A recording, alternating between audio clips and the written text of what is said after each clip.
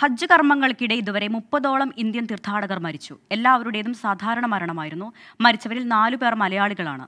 ഹജ്ജ് വേളയിൽ ആയിരത്തി നാനൂറോളം തീർത്ഥാടകർക്ക് സൂര്യാഘാതമേറ്റതായി സൗദി ആരോഗ്യ മന്ത്രാലയം അറിയിച്ചു.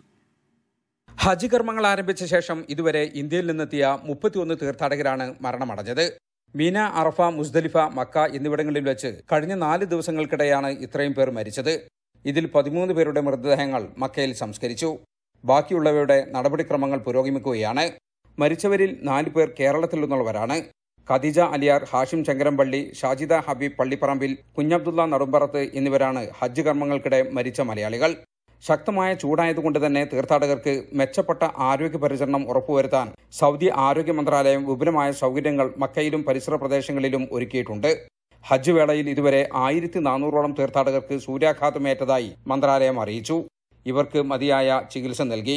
പകൽ സമയത്ത് പുറത്തിറങ്ങുന്നത് പരമാവധി ഒഴിവാക്കണമെന്നും ആവശ്യത്തിന് വെള്ളം കുടിക്കണമെന്നും കൂടുതൽ സമയം ക്യൂവിൽ നിൽക്കരുതെന്നും മന്ത്രാലയം തീർത്ഥാടകർക്ക് നിർദ്ദേശം നൽകി. മിനായിൽ നിന്നും ജലീൽ കണ്ണമകലം ട്വന്റി